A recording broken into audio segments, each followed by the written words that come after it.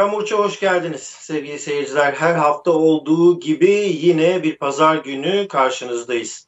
Bu hafta e, yine farklı bir konukla karşınızda olacağız. Her hafta e, farklı konuklarımız konuklarımız oluyor. Bu arada geçen hafta Tatavla e, konuşmuştuk. Tatavla'dan Kurtuluş'a e, konuşmuştuk Hüseyin Irmak'la birlikte. Kitap kazanan arkadaşlarımızı sosyal medya hesabından duyurduk. 5 kişi doğru yanıt verdi. Troleybüs ne zaman geldi kurtuluşa? Yani Tatavla'ya demiştik.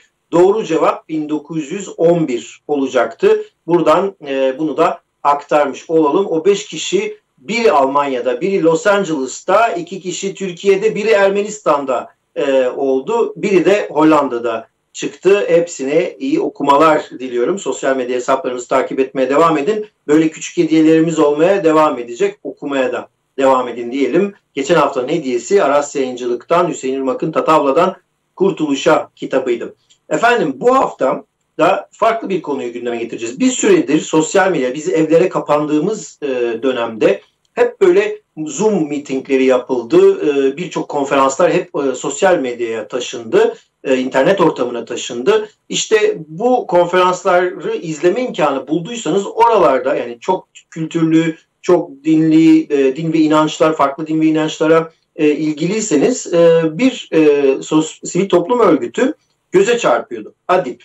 E, ADIP e, Anadolu Din ve İnançları platformu olarak hayatına başlayan bir kurum ve e, ADIP'i konuşacağız bugün. Onun etkinliklerini konuşacağız. Eğer e, hala izlemediyseniz YouTube'dan konferansları izleyebilirsiniz diyelim ama benim konuğum ADİP'in genel koordinatörü Doğan Bermek olacak. Kendisi e, Skype hattımızda internetle. Doğan abi hoş geldin. Hoş bulduk Aris Bey. İyi yayınlar diliyorum. Çok teşekkürler. Size de iyi yayınlar. Ee, önce resmiyeti kaldıralım. Aris Bey yok Doğan abiyle başladım ben. Peki, Sen de Aris, ben Aris de yaş olarak da çok uygun. Ee, öncelikle e, şimdi Adip'le ilgili bir şeyler söylemek gerekiyor. Ee, Adip Anadolu'nun internet sitesine bakanlar ben ilk e, aslında sizin etkinliklerinizle bu e, çok güzel, anlamlı ve bir birçok şeyin önünü açacak olan e, takvimle e, haşır neşir oldum. Yani farklı din ve inançların e, dini e, bayramları ne zamandır, neyi ne zaman kutlarlar diye merak ederken sizin web sitesine denk geldim. Sanırım da yeni kuruluş aşamasındaydı o e, sizin takvim. Sonra baktım etkinlikler gelmeye başladı. Hele ki korona döneminde birçok konferans düzenlendi. Bir, bize biraz e, ADİP'i anlatır mısınız? Şimdi aslında o biraz önce söylediğiniz takvimdir ADİP'i doğuran e, konu. E, bu e, inanç gruplarının birbirleri hakkındaki çok bilgisiz ortam Türkiye'deki e, bazen hatta insanın üzücü kırıcı sonuçlara da yol açıyordu biliyorsunuz. Mesela biz Muharrem'de oruç tutuyoruz. Aleviyiz. Aleviler için bir matem orucu. Arkadaşımız bilmiyor ki onun Muharrem matem mi, eğlence mi, bayram mı, seyran mı? Telefon açıp hayırlı olsun Muharrem'iniz başlamış diyor mesela. Muharrem'i kutlayan çok sünni arkadaşım oldu benim falan. Ondan sonra düşündük ki yani biz biz nasıl bilmiyorsak başkaları da bilmiyor. Bütün bunları beraberce bileceğimiz bir ortam oluşturmakta çok fayda olabilir. Bunun bir e, bir de düşünce babası var. E, Doktor Klaus Wirwol. E, o da bir Katolik arkadaşımız. Onunla bir gün işte böyle yemek mi yiyorduk? Bir şey yapıyorken yani ya niye bir ortak takvimimiz yok? Bir inanç takvimi Türkiye'de yok falan filan dedi. Bu galiba 2016 veya 2017'de oldu bu konuşma. İşte sonra kafamızda yer etti. 2019'da e, bu şeye başladık. Bu işe başladık. E, bir ortak takvim kuralım. Bir bakalım nasıl oluyor. Değişik inanç grupları yan yana gelirse daha olumlu bir şeyler üretebilir miyiz?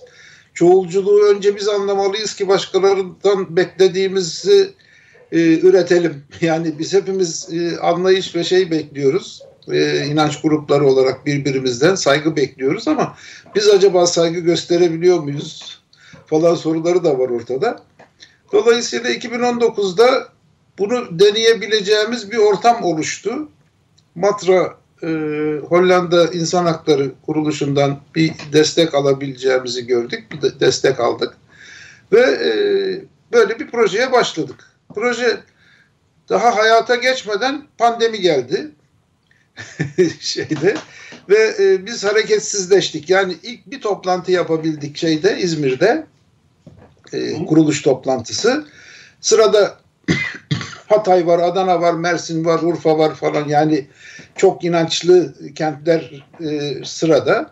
Oralara da gideceğiz falan. Fakat işte İzmir'i bitirir bitirmez neredeyse pandeminin sokağa çıkma yasakları falan bir anda çöktü üstümüze. Biz de o zaman Peki bu işi... Hemen şunu sormak istiyorum. Bu etkinliklerde, şimdi İzmir'de ne yaptınız ve diğer o mesela Urfa diyorsun çok... İzmir'de e, hani, değişik inanç gruplarından arkadaşlarla toplandık. Ee, her inanç grubundan tanıdığımız, tanımadığımız insanlarla toplaştık. Yani 40-50 kişilik bir toplantıyla İzmir'de bir ekip oluşturduk, bir takım oluşturduk. Ee, oluşturduğumuz takım sadece birbiriyle ilişkileri sürdürmek amaçlı e, şey yapıldı, hı hı. oluştu.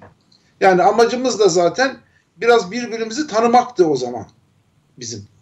Ee, acaba birbirimizi tanıyabilir miyiz? Böyle bir iş olur mu olmaz mı onu da bilmiyoruz yani o sırada. Ama deneye, denemeye değer bir fikir gibi geldi falan. Ee, aynı şey için yani başka kentlerde de tanıdığımız e, diğer inanç gruplarından arkadaşlarla sözleştik falan. İşte bu ama bu turları yapamadan yani bir Anadolu tur, tur, tur, turunu tamamlayamadan daha doğrusu turun birinci ayağında pandemiye yakalandık. Ama e, altyapımız o zamana kadar oluşmuş gibiydi. Yani web sitesini oluşturmuştuk. E, donanımımız vardı falan. E, pandemi gelince önce e, şeyin e, iletişim mekanizmalarımızı upgrade ettik. Yani daha gelişmiş bilgisayarlar falan aldık ilk adım olarak. Çünkü artık seyahatin uzun süre olmayacağı belliydi. Ben e, yasakların çok uzun süre süreceği kanaatindeydim. Zaten de öyle oldu sonra. Böyle kendimizi biraz işte böyle yeni bir düzene ayarladık ve e, adım adım devam ettik toplantılara ama bu artık Zoom üstünden oldu. Şanslı evet. diyeceğiz. Şöyle bir şans geldi. E, bu evlere kapanınca insanlar e, elektronik cihazları kullanmaya biraz daha meyyal oldular o dönemde. Evet. Ve daha çok kullanır oldular. Aslında bizim yaş grubumuz yani bu nasıl diyeyim inanç önderleri e, kesimi oldukça yaşlı insanlarız biz. Ve şeylerden de bu tür araç gereçten de biraz uzağız ama pandemi herkesi bir parça e, şey etti, dijitalize etti doğrusu. O dijitalizasyon sayesinde ilişkilerimiz gelişti. Bugün işte Mardin'de, Urfa'da, e, başka kentlerde, Gaziantep'te, Adana'da, Antakya'da e, ekiplerimiz var. Bu ekipler işte 25'er 30'ar kişilik e, gruplar. Bunlar gayet ilgililer. Çok fazla bilgi alışverişi oluyor aramızda. Hepimiz internet kullanıyoruz büyük ölçüde ve birbirimiz hakkında çok şey öğreniyoruz. Şunu Bülent sormak grupları... istiyorum. Doğan abi ke- kesmek istemiyorum ama bunu anlatırken azıcık da böyle e, ilginç sorular da geliyor aklıma. Mesela şimdi tanış olmaktan e, bahsettik.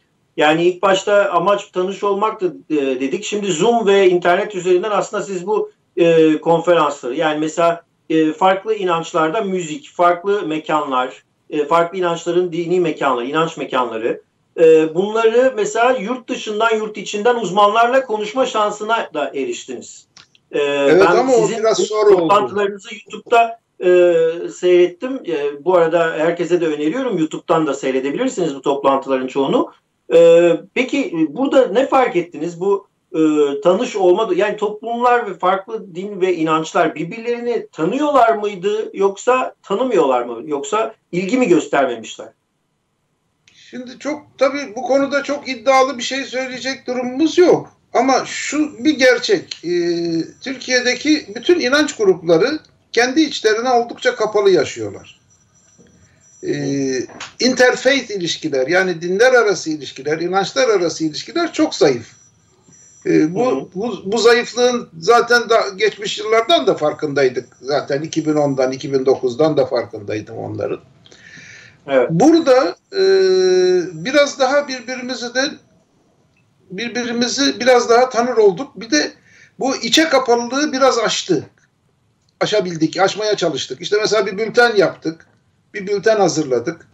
Bu bülten 3 ayda bir yayınlanıyor. Bunu valilere, emniyet müdürlerine, e, parlamenterlere, müftülere, e, yani mahalli otoritelere ve siyasi otoritelere dağıttık, dağıtıyoruz. E, senedir, üç ayda bir onlar da alıyorlar bu şeyleri, bültenleri. Ve mesela bize bir emniyet müdürlüğünden teşekkür geldi. Ya çok iyi oldu bu, tam sizin dediğiniz gibi çok iyi oldu bu takvim, işimiz kolaylaştı dediler falan. Yani sadece umarım, umarım, umarım bunu iyi değil. anlamda söylemişlerdir. İşimiz Efendim? kolaylaştı. Umarım bunu Anlamadım. iyi anlamda söylemişlerdir. İşimiz kolaylaştı derken. Evet e, yani çünkü koruma koruma yapıyorlar adamlar. Yani şeylerin güvenliğini sağlıyorlar e, inanç merkezlerinin. Ne gün nerede ne var, nasıl bir şey, nasıl bir hadise hani eğlenceli mi, batem mi, kapalı iş mi, açık iş mi falan filan bunları da bilmek istiyorlar tabii. Yani e, bir emniyetçinin evet. birinci işi güvenliği sağlamak. O güvenliği sağlamak için de sizin ne yapacağınızı bilmesi lazım adamın yarın.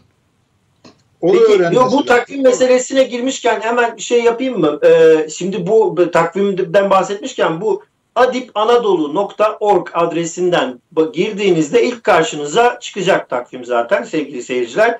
Girdiğinizde de bulabilirsiniz hemen. Ben hemen burada girdim. Bu ayın e, hemen şeylerine bakıyorum. 5 Ekim. E, 5 Ekim'de Cemaat Bayramı. Cemaat Bayramı 7 gün süren 6-13 Ekim bayramına Ezidlerin Piri Şeyh Adi ile ilk cemaati Adeviler anılır.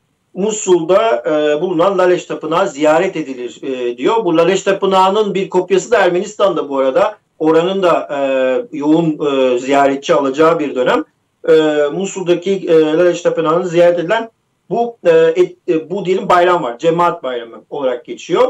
E, 5 e, Ekim'de e, yazılmış. Bir de e, 8 Ekim Ermenilerin Takmançat yortusu. Bu hemen takvimden nasıl çalıştığını anlatayım e, diye e, yapıyorum bunu. Çünkü çok ilginç. Yani bazen inanılmaz yoğun bir takvim de var. Mesela Aziz e, Çevirmenler Yortusu, Takmançat Çevirmenler Yortusu 8 Ekim e, de gözüküyor. Ermeni alfabesini geliştirerek başta İncil olmak üzere pek çok eserin tercümesini sağlayan Mesrop Maştots ile Sahak Bartev'in anısına Dünya Ermenileri her sene Ekim ayının ikinci cumartesi e, günü Aziz Çevirmenler Yortusunu kutlar e, diyor. E, Komidas'tan hemen bir de orada ek vermiş Komidas'tan O Mezaskanç Dulezu e, şarkısında dinleyebilirsiniz e, diye. Bu bu takvimde e, Hristiyanlık, Musevilik, Bahayilik, İslam, Ezidilik e, ve adip faaliyetleri e, yer alıyor ve e, çok da e, yararlı. Siz de şimdi bahsettiniz aslında temelini İslam ve Alevilik gibi. E, olacak. Hem İslam hem Alevi sütunları olması lazım. Yani Sünni ve evet, Alevi anda, Evet, evet altında ayrılmış doğru. Ee, şimdi ben onu görmedim. İslam ve Alevi İslam diye aşağı indireceğiz. Görür, e, görürler. Evet, çok hep her şey var. Yani burada birbirimizi takip edebiliriz. Aslında bu şeye de e, hani buradan e, SMS'ler gelir, bayram kutlamaları SMS'leri vesaire gelir. Bunların da yanlış yere gitmesini de engelleyebilirsiniz. böylelikle herkes birbirinin bayramını bilir, kutlayacağı zamanı bilir. Çok ilginç tabii. ama bir taraftan da bu çalışmalar da yani başlıkları da bana çok ilginç geldi. Mesela inanç ve müziklerde e, Rum Ortodoks dini müziği, Ermeni kilise müziği, Mevlevilik, Yahudi dini müziği, Alevi ibadetlerinde müzik kullanımı gibi birçok çalışma var. Süryani Kilisesi'ndeki müzik geleneği de var. Bektaşi nefesleri e, de var. E, ve e, yani et, mesela inanç e, e, kültürel miraslarda da e, birçok kenti görebiliyoruz. Bu çalışmaları nasıl yürütüyorsunuz? Yani mesela bu başlıklar e, ilginç. Mesela e, dini e, mekanların dönüşümü e, diye bir başlık var mesela ki konferansı çok ilginçti. E, mesela bu başlıkları nasıl buluyorsunuz? Yani dini mekan dönüşümü nedir? Nasıl olur? Vallahi şimdi o başlıklar zaten kendiliğinden çıkıyor ortaya şeyde yaşam sürerken. Ee, şeyde inanç merkezlerindeki dönüştürmeler başlığını tahmin ediyorum ki bugün bizim Sayın Sayın Cumhurbaşkanı buldu galiba. Çünkü Ayasofya ve şeyi e, Kariye'yi e, yeni baştan işte inanç merkezine dönüştür yani camiye dönüştürdükleri zaman ya bu Anadolu'da e, bu dönüştürmelerin çok yoğun olduğunu biliyoruz. Çok yaşandığını biliyoruz. Fakat hiç bu konuda yapılmış doğru dürüst bir araştırma yok. Yani ne, kim yaptı, ne zaman yaptı, nasıl yaptığı falan. Daha çok bu işi yapanlar arkeologlar ve şeyler, e, mimarlık veya restorasyon araştırmacıları işte gidip evet. tekil olarak o binaya bakıyorlar. Bu binanın şurası şöyle oldu, burası böyle oldu falan diye. Binalarla ilgili çok araştırma var fakat bunların bir böyle bütünsellik içerisinde e, ele alındığı bir ortam oluşmamış akademilerde de. E, biraz tabii baktık konuya. Şimdi şeyler yani dönüştürmelerin ilk başladığı tarihler 11. 12. yüzyıl ve e, İspanya Portekiz. Yani şeyde Endülüs Emevilerin ardından oradaki e, İslam şeyleri, İslam e, ibadethaneleri e, dönüştürülmüş. Dergahlar falan dönüştürülmüş. Bu zaten hepimizin bildiği şey. Arkasından işte e, şeyle e,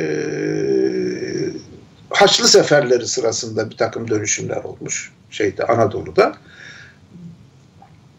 Ama bu dönüşümlerin e, bütünlüğünü görmüyoruz. En yoğun yapıldığı zaman da 18. 19. yüzyıl ve 20. yüzyılın başı. Çünkü bu Balkanlarda yeni baştan birçok devlet kurulurken, ulus devlet fikri dünyada yayılırken, ulus devlet olma e, sırasında işte herkes öbürünün kendisinin alanına gel, gelen ibadethanesini dönüştürmüş falan. Ama bu konu böyle bir tarihsel bütünlük içinde de araştırılmamış.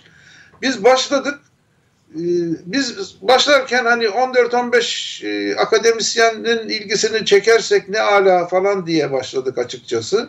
Ama e, akademik dünyada da çok müthiş bir ilgi topladı konu. E, ve gerçekten e, bizim hiç beklemediğimiz, layık da olmadığımız bir ilgi ve şey gösterildi bize. E, bir yakınlık Hı. gösterildi. E, konunun en önemli uzmanları, en önemli oryantalistler, en önemli araştırmacılar e, biz de katkıda bulunuruz dediler. Mesela e, bir e, Orient Institute'un uzun yıllar başında duran bir arkadaşımız ben yardımcı olayım dedi. Sayın Cemal Kafadar Harvard Üniversitesi'nden böyle bir çalışma yapıyoruz der demez ben katılırım dedi ve geldi bizim iki, iki speech dediğimiz hani bu şey, e, onur konuşmalarını yapan çok sayıda arkadaşımız oldu. Çok değerli insanlar katıldılar bu konferansa. E, ve hatta konferansın yetmeyeceğini gördük. Yani bir konferans süresi içerisinde bu konunun tartışılamayacak olduğunu gördük hep birlikte ve bunu üçe böldük. Ee, dedik ki bir Anadolu'yu Türkiye'ye bir bakalım. Ondan hı hı. sonra Güney Avrupa ve Balkanlara bakalım.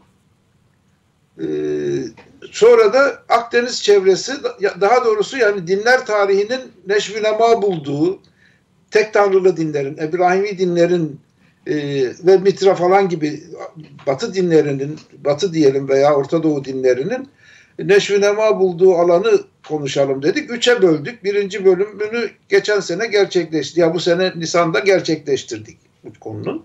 Hı hı. Bir akademisyen arkadaşımız var. Çok yardımcı oldu. Ee, Birçok akademisyenin büyük desteğini aldık. Komitemizde e, Yuri Stoyanov vardı Bulgaristan'dan. O hı hı. müthiş bir destek sağladı bize. Profesör İştar Gözaydın vardı. Çok destek aldık. Koordinatörümüz Doktor Vanessa Dobaldia vardı. O da çok titiz ve dikkatli çalıştı. O kadar titiz çalıştı ki zaman zaman onun, onun titizliğinden projeyi kurtarmaya çalıştık. Çünkü biliyorsunuz şeyin e, iyinin düşmanı e, mükemmeldir her şey mükemmel olsun deyince iyi de yapamıyorsunuz yani böyle falan. Evet. Ama sonuçta çok başarılı bir e, konferans oluştu gerçekten.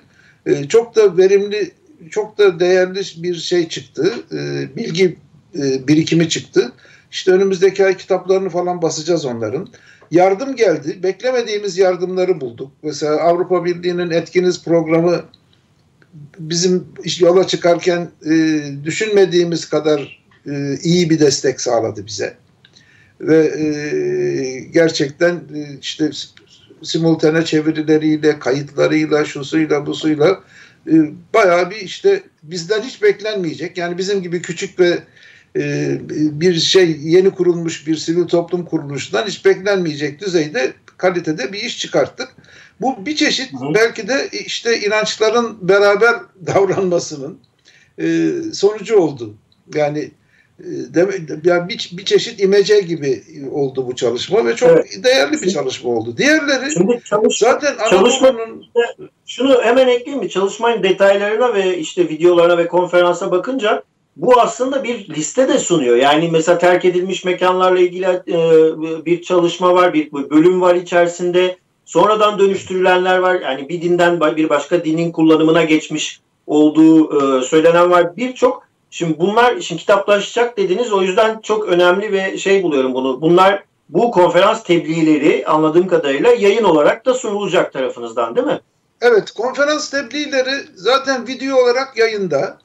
Bilgi, bilgi, bildiri olarak yani metin olarak da bizim e, web sitemizde bulunabilir bugün. Ama şimdi bunları topluyoruz. Bir Türkçe bir İngilizce iki ayrı kitap olarak basacağız. Evet. İngilizcesini uluslararası e, şeye e, üniversitelerin kütüphanelerine Türkçesi de tabii Türk ve Türkçe konuşan ülkelerdeki kütüphanelere dağıtacağız. Ee, önümüzdeki yıl içinde şimdi işte hazırlıklarını yapmaya çalışıyoruz. Biraz da tabii maddi destek bulmaya çalışıyoruz. Önümüzdeki yıl için Balkanlar ve e, Güney Avrupa yani Akdeniz'in kuzeyi ne e, planladık. E, bir sonraki senede e, işte artık işin şeyi köküne gidiyoruz. Orta Doğu. Yani dinler tarihi. Orta Doğu en zorlu e, olacak yer. Efendim? Orta Doğu en zorlu olacak yer herhalde. Şu andaki durum bakıma e, bakılırsa e, tabii, e, yani. Evet. Tabii o, o, yani zor olmaz. Zor olmaz da Şimdi e, Orta Doğu'ya daha fazla da ilgi olur öyle bir çalışmaya. Fakat burada tabii temel sorun bu çalışmaları politize etmemek. Hı hı. Etnisite etmemek. Yani millileştirmeye başladığınız zaman, politize ettiğiniz zaman, içine biraz işte sosyo e, tarihi bir şeyler, sosyal sosyal bir şeyler falan katmaya başladığınız zaman her zaman şeyin riskindesiniz. Bir uçuruma düşme riskindesiniz. Oradan çatışma çıkabilir. Evet. Çatışma çıkartmayacak. bunu bunu bunu söylediğiniz iyi oldu Doğan abi. Buradan belki şunu eklemek gerekiyor. Şimdi böyle sivil toplum örgütlerinin platform adı üstünde platform bir hani konuşma alanı yaratmak üzere bir tanış alanı yaratmak üzere kurulan yerlerin e, raporla bunlar daha çok rapor hazırlarlar. Konferans tebliğleri çıkar. İşte bir araya gelme alanını sunuyorlar. Ama e, risk tabii çok. Biz bu yayını hazırlarken de konuşmuştuk. Hep bunu politize et, ederek kullanıldığı zaman çok başka bir yere gidiyor aslında. Aslında e, yapılan işin değerinin e, de düşürüldüğünü düşünüyorum bazen. Yani de çünkü şu anda e, şu an yapılan sizin e, ortaya koyduğunuz bu datalar, bu bilgiler o kadar değerli ki işte siz de kendiniz de söylediniz. Siz bir yere başvurmadan aslında dışarıdan destek gelmeye başlıyor. Çünkü insanlar iyi bir şey yaptığınızı biliyor. Doğru haklısınız. Ee, işte şeyde de yani e, önümüzdeki dönemlerde de bu titizliği sürdürebileceğimizi tahmin ediyorum ben. Sürdürebiliriz. Ee, faydalı bir çalışma olacak. Becerebilirsek, tamamlayabilirsek. Ee, tabii bu imkanlara bağlı. Maddi imkanlarımız çok sınırlı. Türkiye'deki bütün sivil toplum kuruluşları gibi biz de fakiriz e, devletten falan bir yardım almıyoruz. E, bizimle beraber olan kuruluşlar da yani sonunda işte inanç gruplarının e, sivil toplum kuruluşları. Zaten inanç gruplarının nüfusu giderek azalıyor. İmkanlar yetmiyor. Evet. Devlet e, Diyanete verdiği imkanların hiçbirisini bizlere tanımıyor. Yani diğer inanç grupları, sünni olmayan hiç kimseye tanımıyor. Böyle olduğu için e, işte hep bütün şeyler inanç gruplarının kuruluşları, sivil toplum kuruluşları sıkıntıda. Ama o sıkıntıya rağmen işte Matra'nın desteğiyle, Avrupa Birliği'nin bu etkiniz programının desteğiyle geçen iki yılda e, epey bir şey yaptığımızı düşünüyorum. Bir de yani biz aslında bu alana kayarken e, Anadolu'nun bir rengarenk bir toprak olduğundan başlayarak geldik. Yani bütün inançlar Anadolu'dan geçmiş. Bütün inançlar için önemli e, yapılar kurulmuş, bütün inançlar burada bir şeyler yapmışlar e, ve e, şimdi bunların hiçbirini bilmez durumdayız. Birbirimizi bilmiyor, biliyoruz. Yani büyük ürünleri biliyoruz. İşte Sümela Manastırı diye bir şey duyuyoruz ama manastırın hikayesini nereden bulacağını bilmiyorsun. Ama biz de şimdi mesela bizde artık bu bunlar biraz toparlanmaya başladı. E, dergahlarımız var. Çok sayıda dergah kaybolmuş durumda. Bizim Alevi dergahları, Bektaşi dergahları, Nakşi dergahları bunlar çok önemli bilgiler üretmiş dergahlar. E, ama bu bilgiler ya kaybolmuş ya yok edilmiş ya bir şey olmuş falan filan. Bunları tekrar tekrar ortaya çıkartmak lazım. Bu inançlar ve kültürel mirası sırtında taşıyanlar diye bir program başlattık bu nedenle. Evet. Bunu ta 2014'te biz inançlar ve müzikleri diye bir çalışma yapmıştık. Adalar e, Vakfı'yla kültürel bir evet. etkinlik olarak yapmıştık. E, şeydeki Heybeliada'daki e, Ortodoks Rum Ortodoks binasında evet şeyde. O zaman gördük ki yani bu çok şey hakikaten herkesin birbirini tanımaya ihtiyacı da var. Ve ben de varım. Peki bir şey söyleyeceğim. Bu sırtında sırtında taşıyanlar e, çok aslında şey hani lirik bir anlatım oldu. Sırtında taşıyanlar. Yani bu bunu kimler onlar? E, vallahi bu kültürel mirasla uğraşanlar. Şimdi bu lirik anlamı, lirik mani, an, anlamı bulan arkadaşımız Sevan bizim genel sekreterimiz Sevan Ataoğlu e, kendisi de birçok nedenle çok kızdığı halde bu nedenle tabii takdir ediyorum kendisini. Çok güzel bir şey buldu. çok güzel bir başlık buldu. Benim, benim Agos'tan çalışma arkadaşım ve eski haber müdürüm. Buradan da selam söyleyelim kendisine. Tanıştırdığı evet, için bizi de teşekkür ben, edeyim. Ben de selamlıyorum. çok emeği var e, Adib'in e, kuruluşunda ve gelişmesinde, Sevan'ında. Şimdi bu şöyle yani hakikaten kültürel mirasla uğraşmak çok azaplı bir iştir. Çok ızdıraplı bir iştir. Yani bir kere kültürel mirasın esnafı çoktur. Yani beş kelime bilir adam e, Türkiye'nin en köklü Alevi adam Alevi dedesiyim diye çıkar meydana. Veya muhakkak ki sizde de vardır. E, Ermenilikle ilgili hiçbir bilgisi olmayan adam aniden e, benim yanımda Ermeni e, patriği kesilir falan böyle her konuda büyük bilgisi vardır. Bu aslında e, inançlarımızı özgürce eğitemediğimiz için, inançlarımızı özgürce paylaşamadığımız için o bilgisizlik ortamında ben Aleviyim dedin mi sana herkes Aleviliği sormaya başlıyor. Sen de bir anda kendini işte en büyük Alevi mürşidi zannediyorsun ve başlıyorsun ahkam kesmeye. Bu böyledir, şu şöyledir falan filan. Çünkü senin için o demek Alevilik. Ama aslında Alevilik öyle bir şey değil. yani Aleviliğin nasıl bir şey olduğunu işte bir yığın araştırmacı, bir yığın insan, bir sürü dergah, bir sürü erenler, bizim Anadolu erenleri dediğimiz, yok aşıklar falan filan yüzlerce sene çalışılmış. Adam bunların hiçbirinden haberi yok ama Alevi. Ben eminim ki bu, bu şeyin Ortodoksluğun ne olduğunu bilmeyen çok sayıda Ortodoks vardır. Kendisine sorduğunuz zaman sen nesin ben Ortodoksum falan demiştir bir kere. Ondan sonra Ortodokslukla ilgili her şeyi ben bilirime dönüşüyor bu iş. Bunun evet. engeli de e, bilginin arttırılması, paylaşılması ve yayılması. Yani doğru bilginin evet. bulunması da.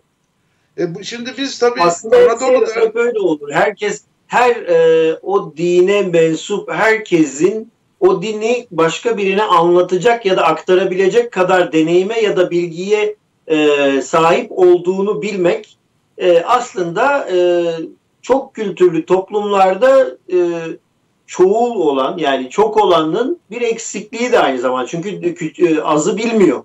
Tanımadığı için de en küçük temsilcisi ni görünce hemen aa evet sizde Paskalya var değil mi yumurta boyuyorsunuz ne anlama geliyor sizin dinde diye sorunca karşısındaki de vermek zorunda hissediyor ama az evet, olduğunda yani da bilmek zorunda. O da o sırada aklına ne gelirse yumurtayı biz ondan boyuyoruz diyor. Ve sen, tabii, ben de tabii. dönüyorum ya diyorum bunlar işte şu tarihte yumurta boyarlar çünkü amcasının oğluyla teyzesi kavga etmiş de böyle olmuş falan. Yani böyle bir şey kendi inançlarımıza kendi kendimiz bilgisizlikten e, bilmiyorum diyemediğimiz için e, hep şeyler yükleriz, e, yorumlar yükleriz. Bu e, herhalde şeyini e, bilgisini özgürce paylaşamamanın bir sonucu. Özgür evet. olmamanın bir sonucu. Yani inanç özgürlüğü doğru olsa, tam olsa doğru dürüst e, şeyini e, clergy'ni yani inanç e, önderlerini yetiştirebilsen, hizmet verenleri yetiştirebilsen, bilgiler rahatça paylaşılabilse falan. Mesela ilahiyat fakültelerimizde çok sayıda kürsü olsa, biz bizim ilahiyat fakültelerimiz Sünni Hanefi kürsüsü. Hepsi sadece evet. bir kürs. Yani adına fakülte diyoruz ama bir, bir yerin fakülte olması için Mitra'dan başlaması lazım. Ee, o işte 12 bin yıl önceden, 15 bin yıl önceden inançlardan başlaması lazım. İnançların tarihini de bilmesi lazım. Musa'yı da, İsa'yı da, Zekeriya peygamberi de tanıması ve bilmesi lazım. Şimdi bunları bizim ilahiyat fakültelerimiz bilmez. yani, e, evet. ben, ben Aleviyim. Aleviliğin müthiş bir literatürü var. Çok zengin bir literatürü var ama o literatür e, üniversitelerde yok. Yani yeni yeni işte son e, bu çok sayıda üniversitede bir takım zor şer yapılan doktora çalışmaları ve yüksek lisans çalışmalarıyla bu bilgiler ortaya çıkıyor. Yani bu çalışmalar çok zor, çok ve kasvetli çalışmalar. Onun için gerçekten kültürel mirasla uğraşmak demek, sırtına epey büyük büyük almak demek oluyor. Biz de evet. onu şimdi, öyle bir şey. Doğan abi şimdi çok çok böyle e, zamanımı da iyi kullanmak istiyorum. Çünkü birkaç konu daha var değinmek istediğim. Şimdi inanç özgürlüğü öğrenim paketi var.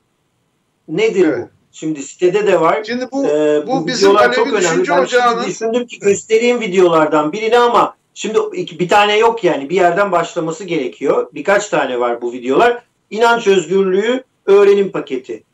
Nedir bu? Evet. Bize biraz anlat. Şimdi dünya uluslararası Freedom of Religion and Belief diye din ve inanç özgürlükleri diye bir, bir platform var. Bir e, eğitim platformu var. E, bu çok çok ülkenin içinde olduğu bir platform. Biz bu platformun Türkiye'deki e, tek partneriyiz. Ale, Alevi Düşünce Ocağı olarak. 2018'de onların bu işte inançla, inançlarla ilgili, haklarla ilgili bir video paketi vardı. 8 videoluk. Biz onları Türkçe'ye çevirdik onlarla beraber ve yayınladık. DVD'lerini falan da bastık, dağıttık etrafta. Ee, sonra arkadan adalete erişim diye bir paketleri daha çıktı. Geçen sene adalete erişim paketini de çevirdik ve tamamladık. Bu ADO'nun e, başlattığı ama artık ADİP'te sürdürdüğümüz, ADİP'te de sürdürdüğümüz bir e, inançla ilgili haklarını bilme, hı hı. haklarını tanıma, haklarını arayacak kadar bilgi sahibi olma ve e, hakkını alamadığın zaman da e, bunun takibini yapabilecek temel bilgileri topluma aktarmaya çalışan bir pakettir o. E, Peki herkes... Ado'da, Ado'da başladık dedin değil mi bu paketi yapmaya? Evet. Evet. Tamam, Ado Alevi Düşünce Ocağı. Yanlış söylemiyorum değil mi? Alevi Düşünce Ocağı. Evet doğru. Evet. Doğru. Şimdi yani e, biz, aslında tabii, iyi oldu. Buyur. Evet, dinliyorum seni. E, dinliyorum seni. Sen yani devam biz, et sonra bir şey soracağım. Tamam. Biz, biz zaten e, yani Aleviler de e, kendi haklarının yani eşit haklara sahip olmadıklarını düşünen bir ekip Türkiye'de bir grubuz biliyorsunuz bunu. E, 90'lı yıllarda madem devlet tanımıyor biz kendimizi tanıtalım kararı verdi Aleviler ve kendimizi tanıttık. Yani e, 90 90'lı yıllarda işte e, 2000'e yakın e, şey açıldı. E, yeni kurum kuruldu.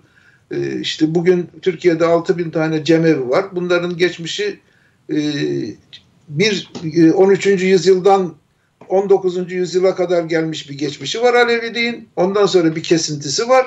1990'dan sonra yeni bir yapıyla tekrar ayağa kalkmamız var. Mesela biz bu anlamda diğer inanç gruplarından çok daha şanssızız. Çünkü bizim e, geçmiş varlıklarımızın tüm elimizden kaçmış durumda. İstanbul'un evet. bütün mezarlıkları bizim dergahların alanlarıdır bugün.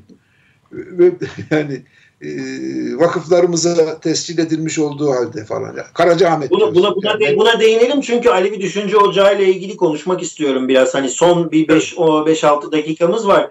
E, çünkü e, bir şimdi de, yani, önce süreçte... mezarlıklar meselesi mezarlık dedin şimdi bana şey verdin haber e, başlığı vermiş gibi oldun. Yani İstanbul'daki mezarlıkların birçoğu e, aslında dergahlardı eskiden. Bu değil mi? Böyle böyle bunu evet. diyorsun. Yanlış anlamadım. Evet. Evet. evet. Ya Bununla ilgili bir çalışma ya var Merkez peki? Yani nasıl? E, Merkez Efendi ki sünni bir kimliktir. Ya Merkez Efendi'nin e, alanıdır. Ya bizim Karacaahmet'in alanıdır ya e, Merdiven Köy'ün alanıdır. Göztepe Mezarlığı falan bunlar devasa alanlar. Bugün trilyonlarca dolar eder. Yani hükümet bizi biraz yok etse belki oraları da 20'şer kat çıkır, çıkarttırır yani önümüzdeki dönemde. Şimdi bu şeyin yani bu kaybımızın inanç e, kültürel mirasla ilgili kaybımızın bir şekilde bilinmesi lazım. yeniden kazanılması falan mümkün değil tabii giden gidiyor ama bilinmesinde çok fayda var. Çünkü onu bildiğin zaman ancak kendinin bugün nerede durduğunu, yarın nereye gidebileceğini de fark ediyorsun. Biz zaten e, Türkiye'de inanç özgürlükleri konusundaki sorunlarımız olduğu için Avrupa İnsan Hakları Mahkemesi'ne 2005'te sorunlarımızı taşıdık.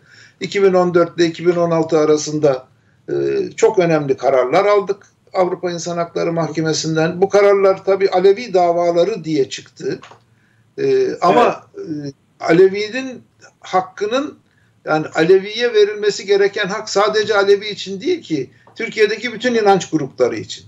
Yani bizim davalarımızı Avrupa İnsan Hakları Mahkemesi irdelerken ve kararlarını verirken inanç gruplarıyla devletlerin ilişkisi Avrupa Konseyi'nde nasıl olmalı sorusunun cevabını verdiler.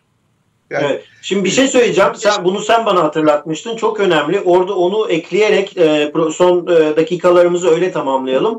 E, şimdi Adon'un çalışması bu Alevi davaları dediğin konu aslında e, böyle basın çok e, fazla hatırlamıyor görmüyor ama Osman Kavala Selahattin Demirtaş davasını görüştüğü anlarda bu konuları da görüşüyor. Ya ve önümüzdeki e, bir, günlerde de konuşacak değil mi Avrupa bu konuyu? Sizin verdiğiniz raporlar oraya gidiyor. Tabii şimdi şöyle yani Avrupa İnsan Hakları Mahkemesi bir karar verdiyse bu karar uygulanana kadar o ülke takip edilir.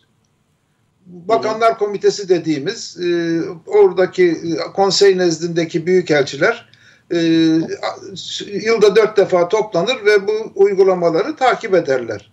Şimdi bizim sorunlarımız e, Bakanlar Konseyi'nin e, gündemlerinde 2019 sonunda bir takım kararlar alındı.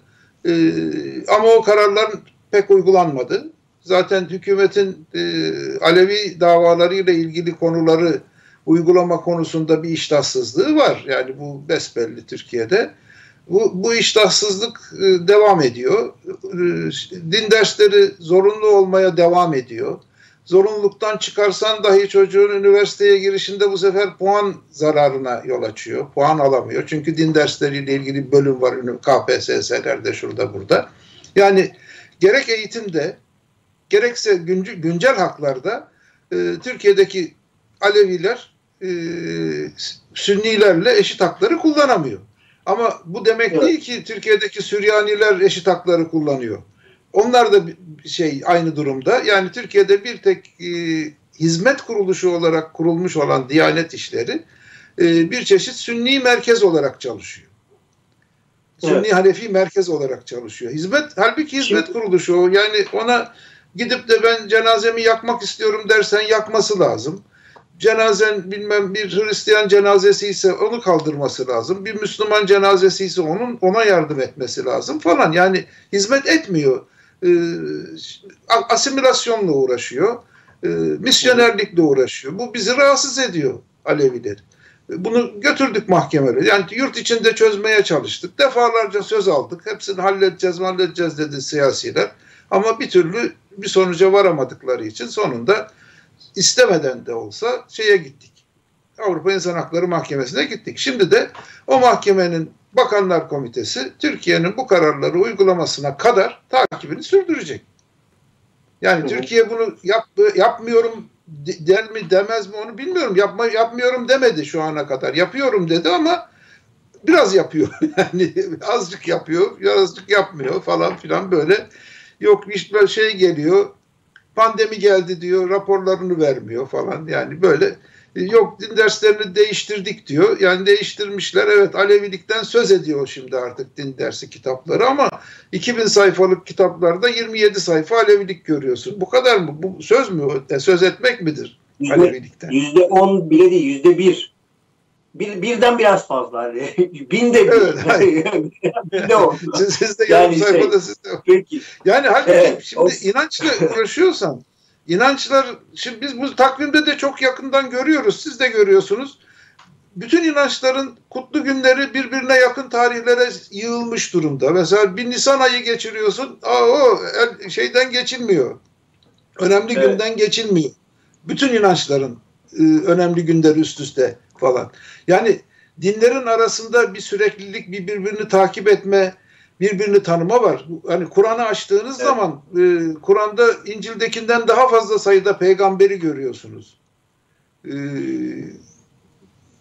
bilmem Meryem e, Hazreti Meryem'in adı Kur'an'da 19 kere geçiyor. Galiba İncil'lerde 7-8 defa geçiyormuş. Yani e, bu konuda bir takım çalışmalar var.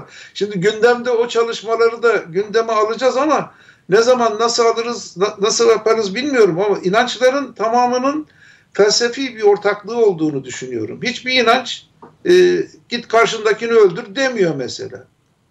Değil evet. mi? Öldürmeyeceksin, evet. çalmayacaksın, bu, şunu yapmayacaksın, bu, bunu yapmayacaksın.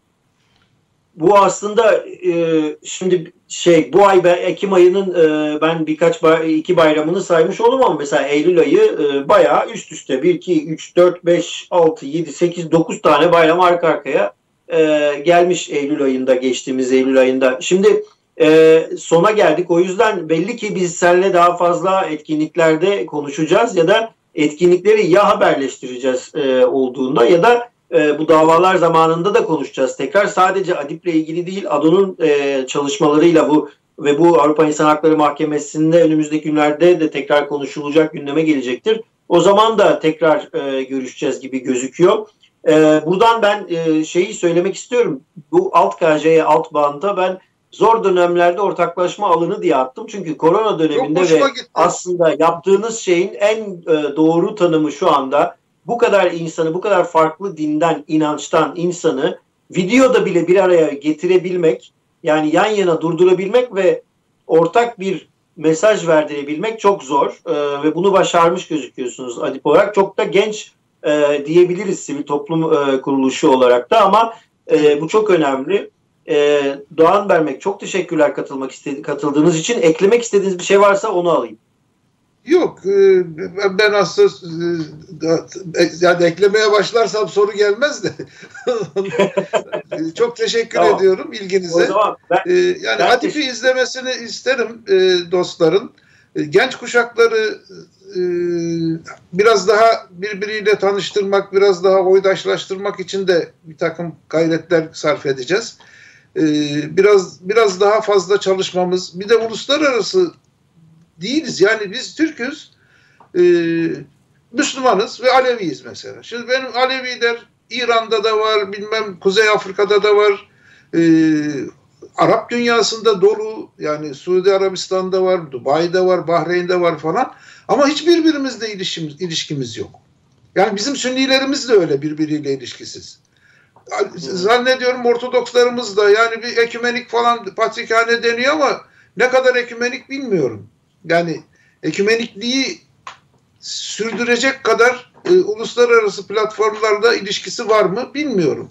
E, ama birçok e, inancın, Türkiye'deki birçok inancın bu ilişkilerinin çok zayıf olduğunu görüyorum. Dünya ilişkilerinin çok zayıf olduğunu görüyorum. Bunun güçlenmesi lazım. Daha fazla uluslararası ilişkinin gelişmesi gerektiğini düşünüyorum.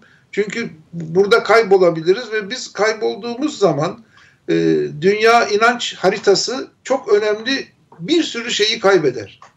Yani insanlık adına da bu çalışmaların sürdürülmesi gerektiğini düşünüyorum. Anadolu'yu çıkartırsan ne kalır Sufizm'den ne kalır Alevilikten geriye. Hı hı. yani e, bunun bunun e, yapılması, bu çalışmaların yapılmasının önemli olduğunu düşünüyoruz. Yapıyoruz. Elimizden geldiği kadar yapmaya devam edeceğiz. Biz de takip edeceğiz o zaman. Z kuşağı, Zevk izleyicileri e, sözümüz size. E, Adip'i takip edin. Onlar için de e, etkinlikler yapacakmışsınız. Herhalde bir şeyler var. adipanadolu.org unutmayın e, adresi. Buradan etkinlikleri takip edebilirsiniz. Doğan Bermek siz burada katılmışken sizden bir de izin alalım o zaman. Bundan sonra Gamuş programında her programda e, bu bayramları ekrandan e, Adip'in sitesinden takvimden getirelim. Böylelikle hatırlatmış oluruz herkese. Sizin başta dediğiniz gibi. Memnuniyetle. Memnuniyetle. Memnuniyet. Çok memnun o oluruz. zaman bu takvimi bu takvimi Gamuş'ta paylaşacağız. Daha da memnun oluruz. Tabii ki. Siteyi direkt siteyi gösteririz. Zaten Adip'ten aldığımız için. Böylelikle e, hem Adip'i e, tekrar söylüyorum. adipanadolu.org buradan e, takip edebilirler sevgili seyircilerimiz. Çok teşekkürler Doğan Börmek katıldığınız için. Ben teşekkür ediyorum. İyi yayınlar diliyorum. Sağ olun. Teşekkürler. Evet, e, bu haftada ADİP e, Genel Koordinatörü Doğan Bermek'le birlikteydik. Anadolu Din ve İnançları Platformu'nun Genel Koordinatörü etkinlikleriyle ilgili, o takvimleriyle ilgili e, birçok şey anlattık. Ortaklaşma zamanının, zor dönemlerde ortaklaşma alanını bu şekilde açtığını e, gördük. E, bu yönde çalışmalar yapan sivil toplum örgütleri olduğunu da bir kez daha görmüş olduk. Adip'le bağlantımızı sürdüreceğiz. E, önümüzdeki günlerde e, birçok konu gündeme geldi. Ahim davaları olsun, bayramlarda olsun e, takvimden alıntılarla Gamurç'ta takip edebileceksiniz. Gamurç'u sosyal medyadan takip etmeyi unutmayın. Gamurç'u ve Artı TV'yi e, diyelim soru ve görüşlerinizi de bize oralardan iletebilirsiniz. Hepinize teşekkür ediyorum. Stay diyerek kapatalım programı. Görüşmek üzere.